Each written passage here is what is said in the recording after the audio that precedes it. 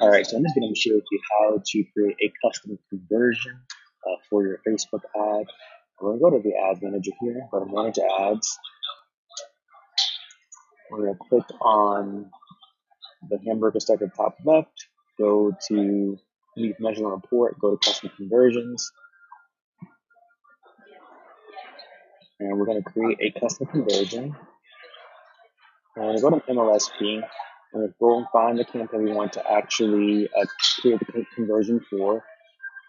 We're going to grab the thank you page. So we're going to go ahead and grab the thank you page. So Facebook's going to track when people go from the opt-in page to the thank you page. So we grab this link here.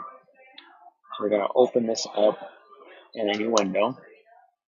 We're going to hit pause on the video here.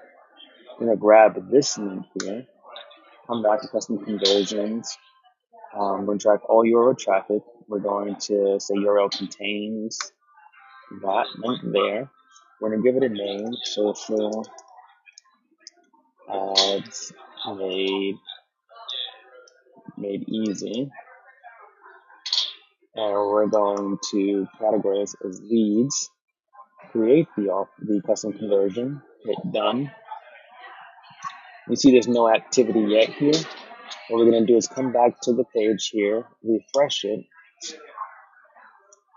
and then turn this off, video off, come back to custom conversions, refresh this, and there should be some activity here.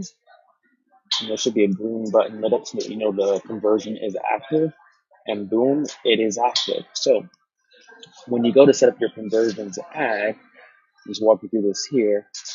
You go to the conversions ad, go through the setup. So select convert me, start over here. And then choose conversions. Go through the setup process. I recommend actually setting up your budget here. So click on budget optimization if you have it here. Set your budget to like 10 or 20 bucks here. Um, but I'm just gonna set up for 20 bucks. Um, now we're gonna we're gonna set up the conversion event. So we're at it says website and the conversion here, click the X box and just find social. The conversion pixel you just created. Social ads made easy. There it is. And that's it. Now you go ahead and design your ad, the targeting budget, etc., the way you normally would. Okay.